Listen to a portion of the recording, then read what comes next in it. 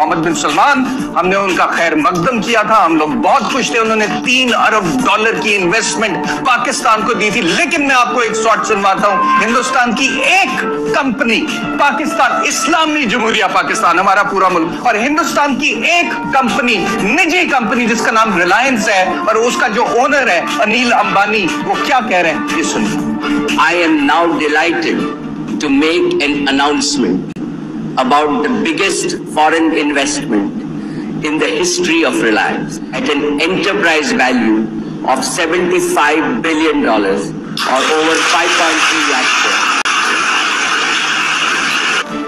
ये रिलायंस जो हिंदुस्तान की कंपनी है उसने बताया उन, उनके ओनर ने कहा कि जी हमने एक जॉइंट वेंचर कर लिया और हमारी कंपनी में इन्वेस्ट कर रही है सऊदी आराम को जो आपको किंगडम ऑफ़ सऊदी अरेबिया जो crown prince Mohammed bin Sultan के अंडर आती है और उनकी एक नेशनल कंपनी है। रियासत सऊदी अरेबिया की हुकूमत उसको ओन करती है कोई निजी कंपनी नहीं है। उन्होंने पचहत्तर बिलियन डॉलर हिंदुस्तान की एक निजी कंपनी में इन्वेस्ट किया है। हमारे यहाँ पे पाकिस्तान में हम खुश हो रहे थे। तीन अरब डॉलर और पचहत्तर अरब डॉलर हिंदुस्तान की एक निजी कंपनी में सऊदी अरब इन्वेस्ट कर रहे तो जब मुस्लिम रिलायंस इंडस्ट्रीज़ के चेयरमैन मुकेश अंबानी एजीएम में बताया कि सऊदी अरब की अरामको रिलायंस की ऑयल टू केमिकल बिज़नेस में 20 फ़ीसदी हिस्सेदारी खरीदेगी, जो कि रिलायंस में अभी तक का सबसे बड़ा विदेश निवेश होगा।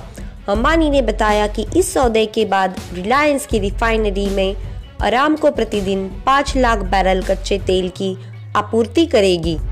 उन्होंने कहा कि रिलायंस के लिए सबसे बड़ा और देश के लिए एक बड़ा विदेशी निवेश है।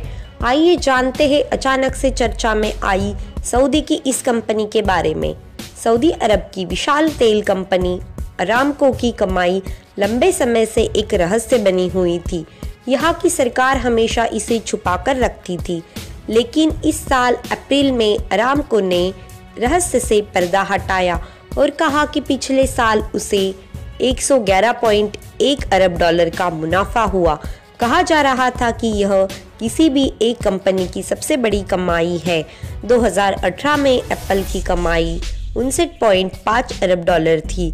इसके साथ ही अन्य तेल कंपनियाँ रॉयल डच, शेल और एग्जॉन मोबिल भी इस रेस में बहुत पीछे है।